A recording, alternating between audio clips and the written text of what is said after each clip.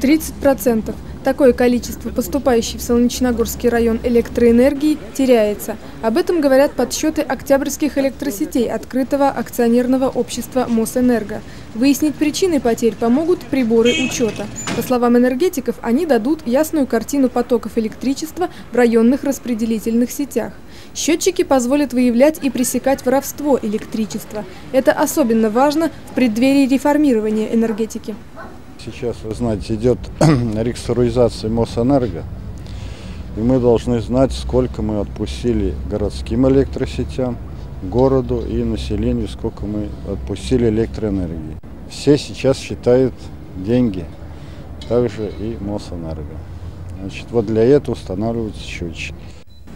Это приборы учета нового поколения, электронные счетчики. От прежних они отличаются большей чувствительностью, то есть дают более точные показания.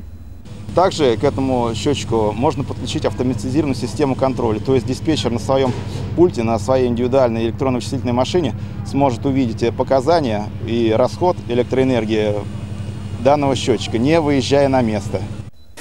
Этой подстанции требуется 8 приборов учета. Сами счетчики повесить недолго, говорят работники. Но перед этим нужно проложить кабель, установить дополнительные устройства. Бригада из четырех человек потратит на это весь день.